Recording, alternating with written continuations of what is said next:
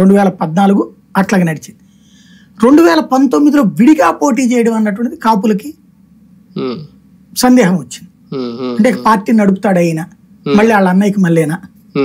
అన్నటువంటి ఒక అభద్రతా భావం వచ్చింది.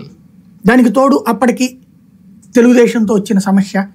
రెండోది ఇటు జగన్ని ఓడగొడతానంటూ చెప్పడం. అంటే చంద్రబాబుని ఓడగొడతాననే మాట వదిలేసి జగన్ని రానియను అంటున్నాడు. నేను అధికారంలోకి రానంటున్నాడు. ఈయన అట్లాగా ఆ టైంలో అంత ఊపు లేదన్నది తెలుసు కాపులకి. అందుకని ముందు చంద్రబాబుని గద్దె దించేస్తే బెటర్ అన్న ఉద్దేశంతో జగన్కి వేశారు వాళ్ళంతా. ఆ తర్వాత పవన్ కళ్యాణ్ ఎప్పుడైతే మాట్లాడటం బిగిన్ చేశాడు మనం అందరం ఒక్కటవుదాం నన్ను నమ్మండి పాత్ర పోషించండి. అని పదే పదే చెప్తున్నాడు. ఇప్పటిదాకా నేను మీతో ఉన్నాను పారిపోలేదు గుర్తు తెచ్చుకోండి అని చెప్తున్నాడు. ప్రతి ఒక్క కాపులు ఆలోచించుకున్నారు. ఇక ఈ ట్రిప్ మనోడిని కాపాడుకోకపోతే.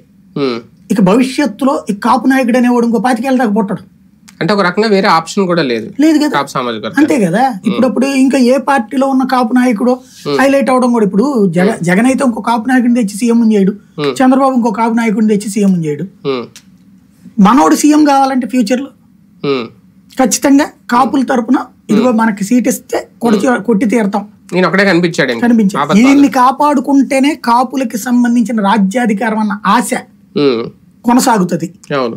ఆ రాజ్యాధికారానికి భవిష్యత్ ఈయన చూసుకుంటాడు. వ్యూహం నాకు వదిలేయమన్నాడు కదా? ఆయన చూసుకుంటాడు. అన్నటువంటి ఫీలింగ్ కాపు పోలరైజేషన్ చాలా బలంగా చేయడంతో పాటు. కాపులు మిగతా వర్గాలను కలుపుకున్నారు. కానీ ఇక్కడ నిజంగా పవన్ కళ్యాణ్ గారి వ్యూహం సక్సెస్ అయిందా? ఎందుకంటే ఆయన పేరు ఏం పేరు? హరిరామ జోగే లాంటి వాళ్ళు. ఓకే ముద్దగడ పద్మనాభం ముందు ఇచ్చారు అనుకోండి సలహాలు తర్వాత మానేశారు. లాస్ట్ టైం కూడా ఆయన గట్టి సలహా ఇచ్చాడు. హరిరామ జోగే గారు ఎక్కువ లేఖలు రాసి సలహాలు ఇచ్చి మనకి యాభై కావాలి ముప్పై ఐదు కావాలి అన్నా సరే వాళ్ళందరి మాటలు పక్కన పెట్టి పోతిరి మహేష్ లాంటి వాళ్ళు కూడా నచ్చక బయటకు వచ్చేసి అంటే సొంత వ్యతిరేకత బాగా ఎక్కువ వచ్చింది ఆయన.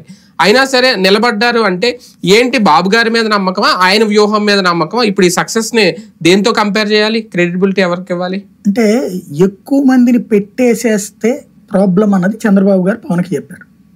అంటే ఇచ్చేస్తా